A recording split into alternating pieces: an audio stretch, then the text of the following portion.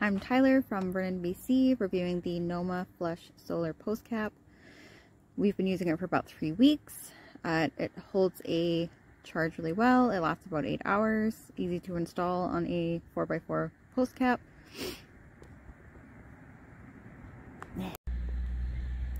I would recommend the Noma Flush Solar Post Cap to family and friends, just purely for the easy install and good light payoff that it gives.